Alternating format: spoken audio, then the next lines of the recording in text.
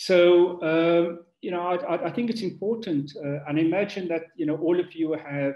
engaged in conversations about South African cities, urban areas. But it's worth repeating um, that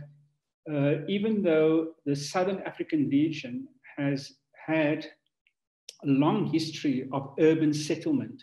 and archaeologists have more recently uncovered sites indicating uh, urban settlements prior to the uh, uh prior to colonialism. Most of South Africa's cities are products of uh, colonialism and in particular capitalist development from the late 19th century. Uh, what that means is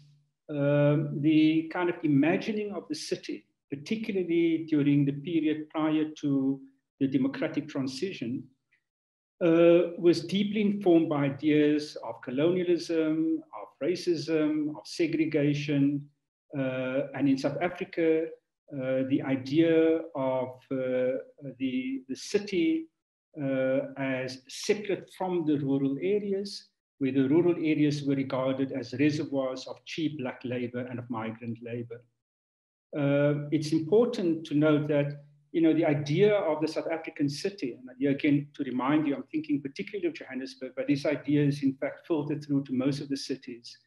uh, were informed by ideas, uh, you know, that were quite dominant in Europe at the end of the 19th century. So I'm talking here of ideas around sanitation, segregation, racism, uh, you know, urban control, disease, ideas around slum clearance, organization, ideas that came out of the kind of mid 19th century, uh, you know, uh, development of, of European uh, urban areas and I'm thinking of the kind of Haussmann development in Paris and how that influenced urban thinking in the late 19th century. So kind of cleansing cities, uh, you know, became quite important.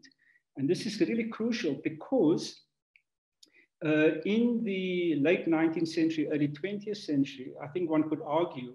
that the city was seen as the uh, as kind of citadels of white power and white privilege.